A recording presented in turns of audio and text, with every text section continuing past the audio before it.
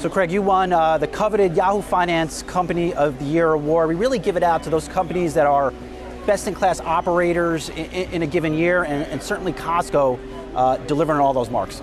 And I really appreciate that, but I got to tell you, this goes to all the people in the organization. They truly are what makes this company company go, and I'm very blessed and fortunate just to be part of it. So I really owe it all to them. You mentioned workers uh, a couple times, and Costco has long gotten really high marks on its employees, how it treats them, how it pays those workers.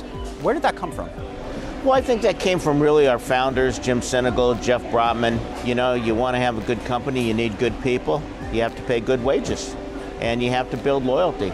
And we don't have much of a turnover in our organization. So we want people to stay long term. We want people to make higher wages. We want people to be able to afford homes. Um, it's just the right thing to do.